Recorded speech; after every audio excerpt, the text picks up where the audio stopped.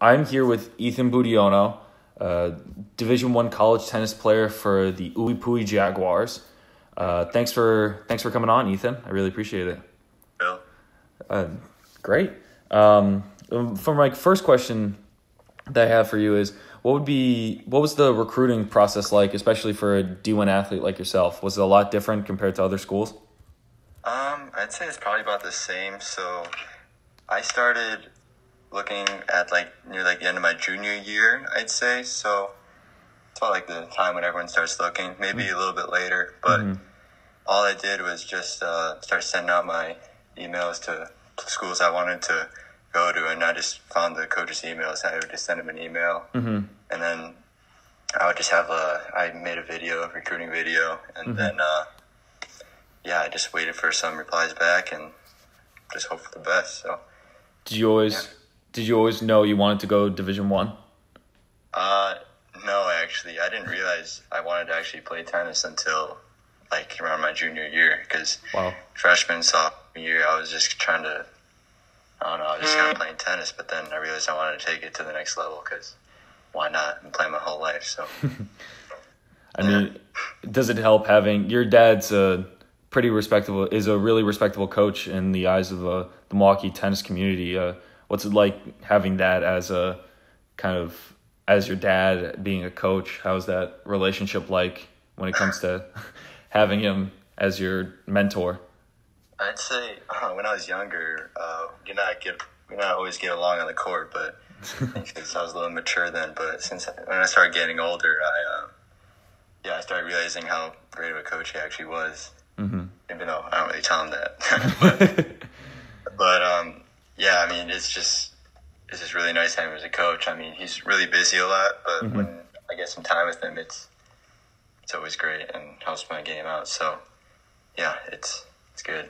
What do you think the difference is compared to?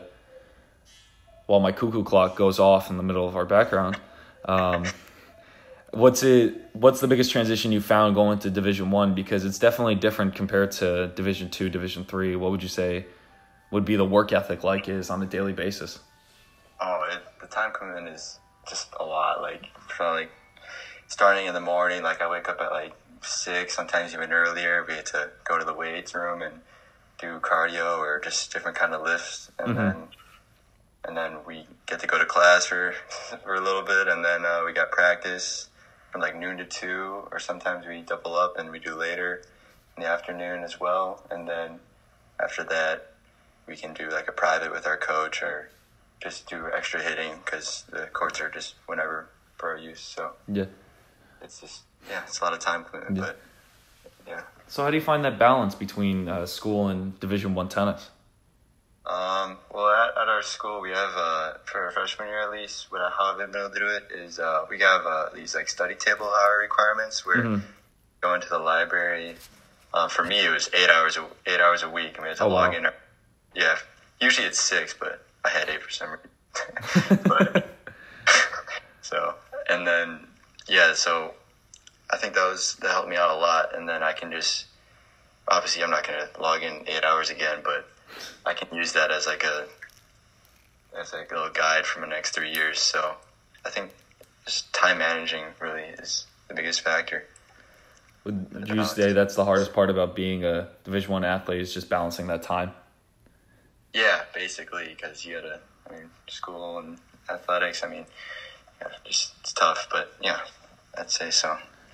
So when you travel, um, I knew you. Um, I was aware that you went to the ITAs in uh, what was it, Nashville? Yeah, the regionals was the regionals. Yeah. What was that experience like? Because not many people are have that opportunity to show their skills on the national level. Walk us through that experience.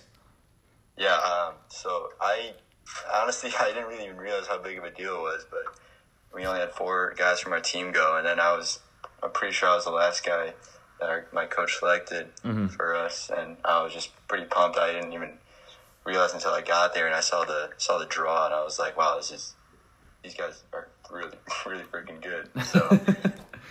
and then, um, yeah, when I got there, I just, I was like, I played a Vanderbilt guy right away, and I was like, wow, this is, this is a really cool experience. And then um, yeah, I had chances to win the match and I lost, but I mean, after that, I was able to see all the other uh, main draw matches and seeing guys from like Kentucky and Tennessee, all these top ranked guys. It was just really cool, and hopefully, I yeah, I don't know, just. Do you think? Uh, do you think in the future you'll have people looking up to you that way when you play uh, more regionals? Uh, that, that that was that's the dream. But, uh, cool. Yeah, when I was watching those guys play, I was like, man, I want people watching me like that. But, Mhm. but that's the motivation. So I don't know. Hopefully, but it's all about staying healthy. That's my biggest concern. Okay. Do you, have you had injuries in the past?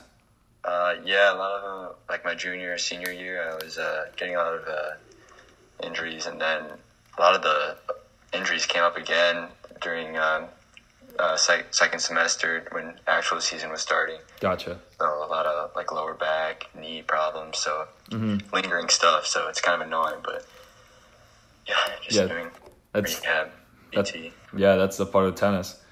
Do you have that? Uh, do you have any of those problems kind of translated into college? Uh, followed you into college, or is that just kind of stayed in Oh, high yeah. school? No, no, they all fought like the back issue and the knee.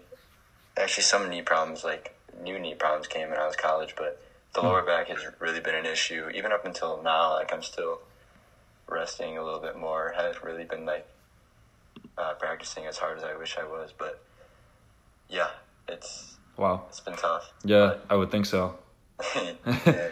Uh, you've you've done well for being for a freshman this year. You went six and zero and uh, number six singles. You went six and two at the five spot. What? How would you find that success at such a young age, especially on the on a D one team? Um, honestly, I just wasn't even like when I was out there. I just started. I didn't really have any expectations going in, and Mm-hmm. didn't really know what to expect. So I was just. I was pretty. I'd say my first the first match I played, I was really nervous, but once I got through the first set, it was just like I realized how fun it was. Like it's so much better when you're playing on a team. Like in mm-hmm. USTA, like I don't know. I really didn't enjoy USTA all that much. Yeah. But yeah, just playing on a team just made it a lot more easier, and having guys cheer you on. It's just I don't know. I just like when people are watching me play, and then I feel like I'm able to. Someone I kind of like want to show off a little bit, I guess, so to say. So Yeah. I want to impress the people watching, so it definitely, definitely helped. So So definitely more of a pressure player, more than just have a calm environment around you. yeah, yeah. I mean, it's always nice having a little calm too, but Mm-hmm. when it, I don't know, I like the spotlight sometimes too. So Definitely, definitely Yeah. a chance to show off your skills. yeah, And you did that when you beat uh, the 26th player in the country. Is that correct against Notre Dame? Oh, Nathan Griffin. Yeah, yeah, Griffin. Yeah. What was? Um, walk us through that match. Okay, so I actually the um, previous uh, match we played Detroit Mercy, and that was the first uh, conference match, and I Mhm. actually lost. I didn't really play that well, and I was super pissed. So I kind of, I don't know, I kind of like funneled that anger into the Notre Dame match, and I just, I just wanted to see what I could do, and then I got out there, and I think I remember the first point of the match I was serving, and I I and I hit the net and it rolled over and I won that first point with an ace just like that. I was like, all right, this could be this could be a good day.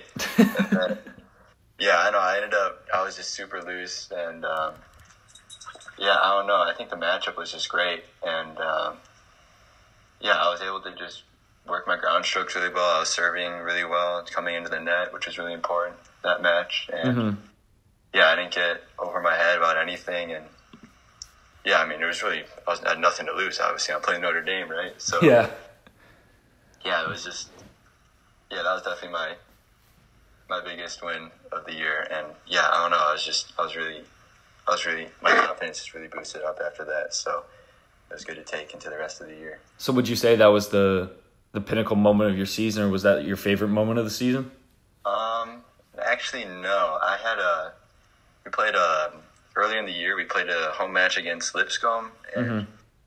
um, I was playing six against some against their guy, and he was also. When you're playing six, like most of the guys I'm playing are like usually I'm like I'm expected to win like almost all my matches at six, and Yeah. that guy.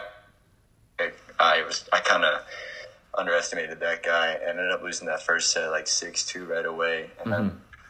I was looking around at every other match. match, and um, I realized how close it was, and then I realized that it came down to my match. It was I think it was three three, I think, or Mm-hmm. two. There was three two or something like that, and um, when we were in a third set, and I yeah I was able to just focus in, and 'cause I realized that I needed to win my match if we wanted to beat Lipscomb. So took it to a third set, and we were in a we were in a breaker and um, seven point breaker, and uh, we had like all the guys watching. It was a home match, so like a lot of my uh, some of my friends were there watching too, and just a home crowd. And um, yeah, I ended up clinching the match, and and then it was just that was probably my favorite moment because you know all my teammates started like storming the court and, and just cheering, and Yeah. yeah, that was that was my favorite moment of the of the season. But in terms of my best match, Notre Dame. So Awesome. That's what yeah. that's what I love to hear. Yeah So what's it like having a brother you can just beat on? Uh, this still on the record? Uh, yeah, of course.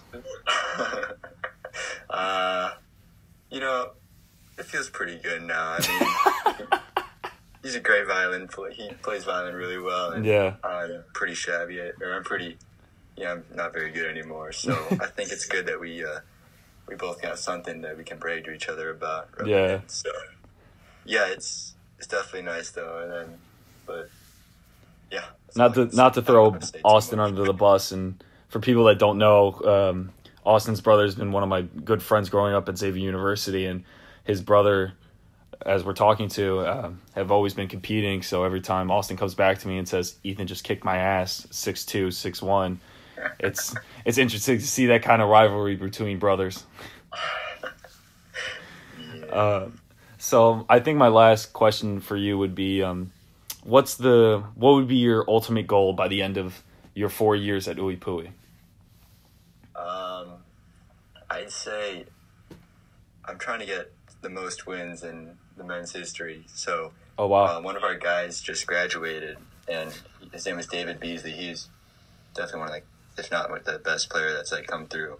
Mhm. And he, I forgot how many wins he has total, but it's like maybe like the seventies, sixties, maybe like close to like seventy. And he was telling me, it's like you know, like you're on the right path to take me out here in terms of uh, the most wins. So that's Wow.